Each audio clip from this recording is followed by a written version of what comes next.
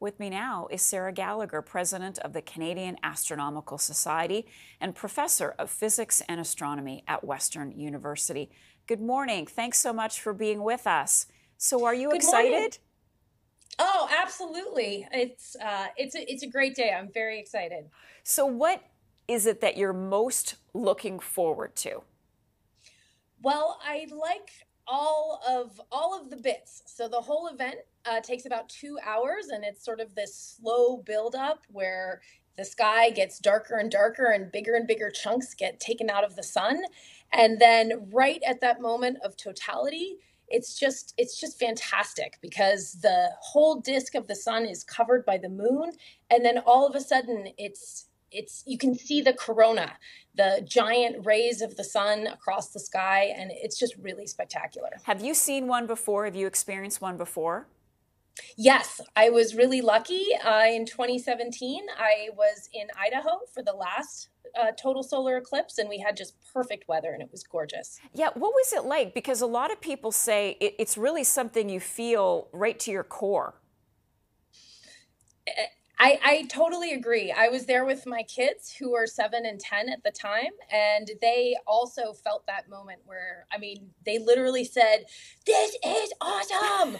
and it, it's just spectacular and you also you feel it in this very visceral way we were uh, we were in idaho so the air was quite dry which meant when it was completely dark that you could feel the temperature drop very dramatically so it's something you feel in your whole body Wow. Okay, so let's walk through the time frame then in Ontario to witness the eclipse because it kind of varies from region to region.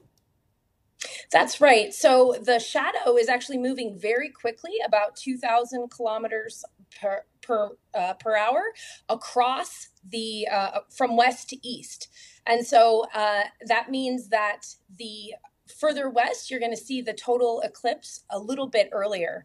And so uh, yep as you as you can see on the screen so around um, 318 in hamilton that's when it's going to hit. And you can see it's a few minutes later as you go further east um, even into eastern canada where it's quite a bit later. And so, what are the different phases to this eclipse?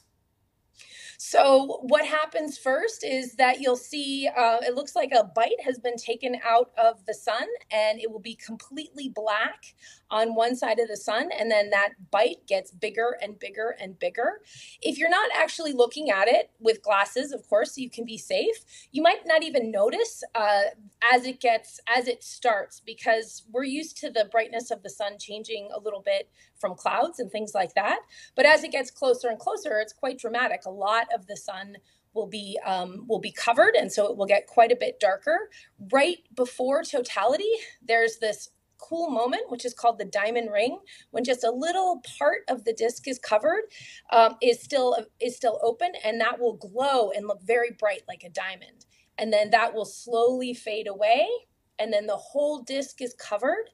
And then that's when you're able to see the corona because all of a sudden, not only is the disk of the sun covered, but all of the light that usually scatters off the molecules in our atmosphere also goes away. So the sky gets very dark. And that's why we're able to see the corona, which is millions of times fainter than the disk of the sun. Amazing. And And, then- and you mentioned that the temperature drops. Yes. Uh, well, it, de- it depends. Um, if it's very humid, you might not notice it as much because the air isn't as sensitive to the lack of light. But if it's uh, if the air is drier, you'll definitely feel it get quite a bit cooler. Sarah Gallagher, thank you so much for taking the time to speak with us. Uh, we're all really pumped about this today. Sarah Gallagher is the president of the Canadian Astronomical Society and professor of physics and astronomy at Western University.